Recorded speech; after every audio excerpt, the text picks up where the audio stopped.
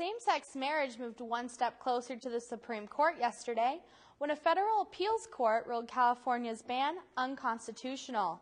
Justices say the ban served no purpose other than to lessen the status and human dignity of gays. A three-judge panel of the Ninth Circuit Court of Appeals gave opponents time to appeal this decision before ordering the state to allow same-sex weddings to resume. Rick Santorum claimed three victories yesterday in his bid to become the Republican presidential nominee.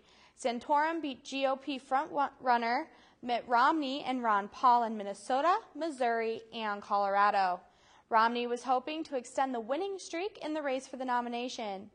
Former House Speaker Newt Gingrich didn't mount a campaign in yesterday's races. Instead, he says he's looking ahead to primaries elsewhere. A vice president at the Susan G. Komen for the Cure Foundation resigned yesterday, saying the breast cancer charity should have stood by its politically explosive decision to cut off funding for Planned Parenthood.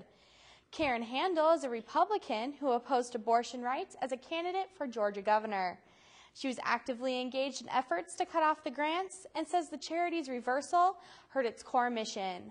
The Komen grants totaled $680,000 last year and went to breast screening services offered by Planned Parenthood, which provides a range of women's health care services, including abortions. And those are your headlines. Thanks, Lene.